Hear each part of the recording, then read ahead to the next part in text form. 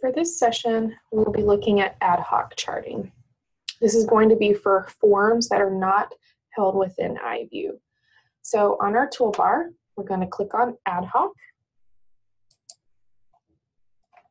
On the left-hand side, you'll see different folders of forms. On default, it opens to general RN forms. So if you don't see what you're looking for, look through the different folders to find the correct form. Today we're going to look at the pre-procedure surgery checklist.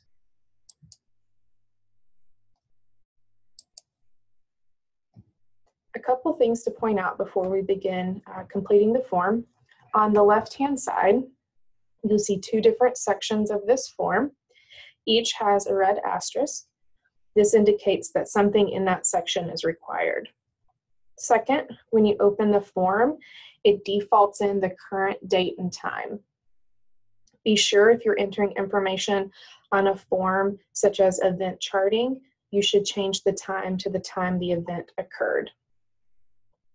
So looking at the form, we know what's required by the yellow boxes or fields. fields. Uh, we must address those before we can sign the form. So we'll start by entering in the procedure or surgery, making sure we don't use any abbreviations.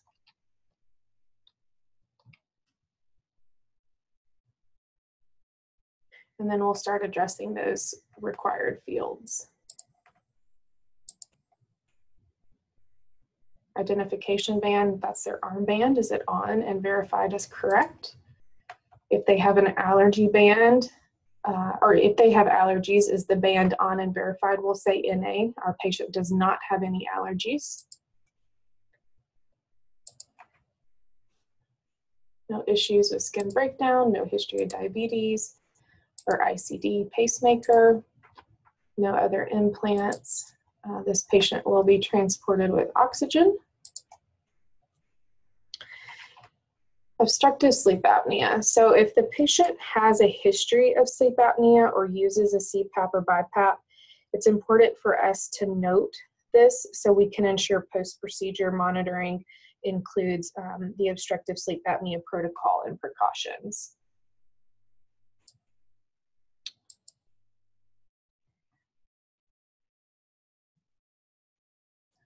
Here you'll notice vital signs don't pull over from previous documentation. So we will need to input vital signs. When we do that, just a note, um, this will add an entry for vital signs in the patient's chart with this date and time that we're documenting. So we want to be sure that these are relatively recent, so they are pretty accurate.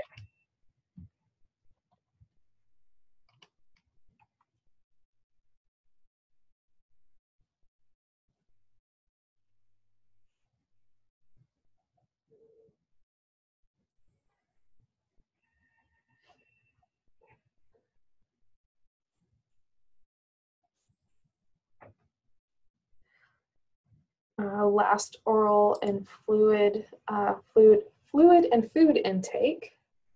We'll say at midnight today.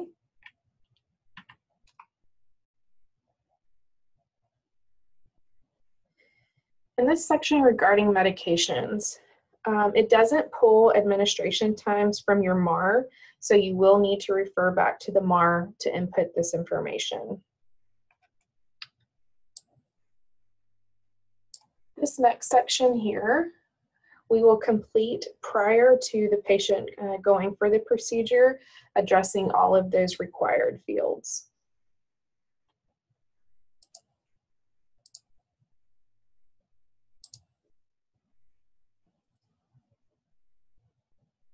Say NA, my patient doesn't use contacts or eyeglasses. They don't have any dental appliances or hair accessories. We'll take their hearing aids out. Patient doesn't have any loose teeth.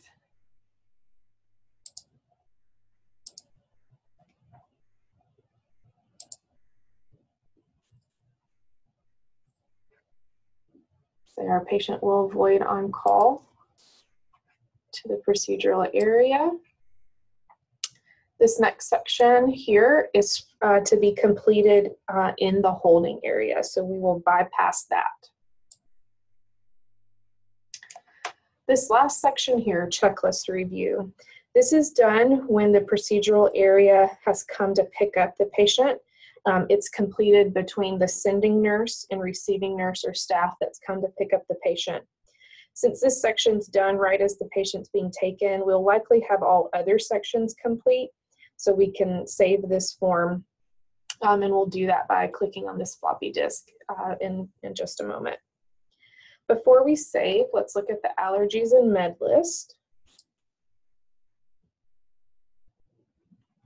We'll confirm if the procedural area has been notified of any latex, iodine, or tape allergies. We don't have any of those, so I'll click NA. My patient doesn't have any drug allergies, so I'll mark that as reviewed and then I can see that uh, medications have been addressed. You'll see that the red asterisk is now gone for both of those uh, sections, but remember we didn't complete that checklist review here on this first section down here at the bottom. We didn't complete that, so let's save this form and we'll come back to complete when the patient's ready to be taken down for procedure. So we'll click the floppy disk to save. We can close this ad hoc charting box. So now we'll say the procedural area has come to pick up the patient, so we need to complete that last section.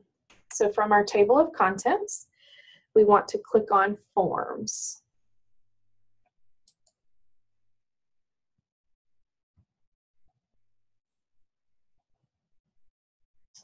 We'll see our pre-procedure surgery checklist shows as in progress. So to complete the remaining documentation, I'm going to right click on that form name and select modify. I'll move down to the bottom of the checklist and see that section that needs to be completed. So I can search for the names of the two people involved, either by typing their name in here or clicking on the magnifying glass as a search feature.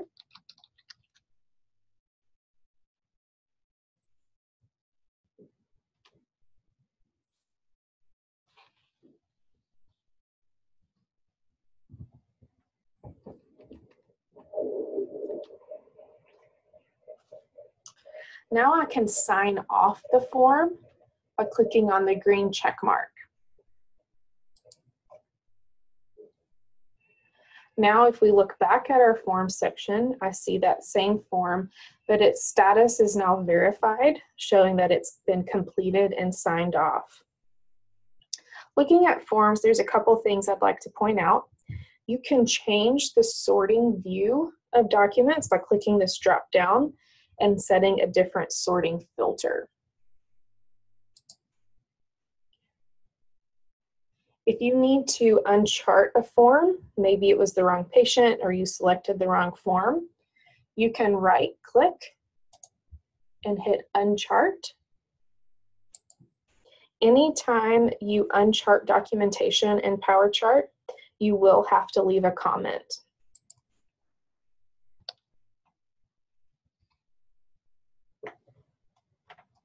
I'll click the green check mark to save that. Now my form shows as in error and has a line drawn through it. This indicates that this has been uncharted. Additionally, if you look at this gray bar up here that's got the date range in it, you'll notice it's currently set to show forms from the date of admission through the current date. We can change the search criteria if we want to find a form um, that was completed during a previous admission. So I can change this date range to capture anything that falls within that new range.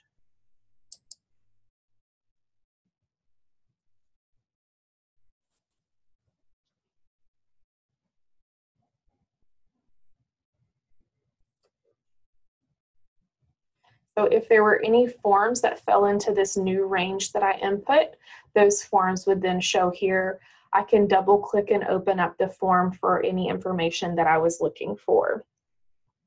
And this concludes looking at ad hoc and forms.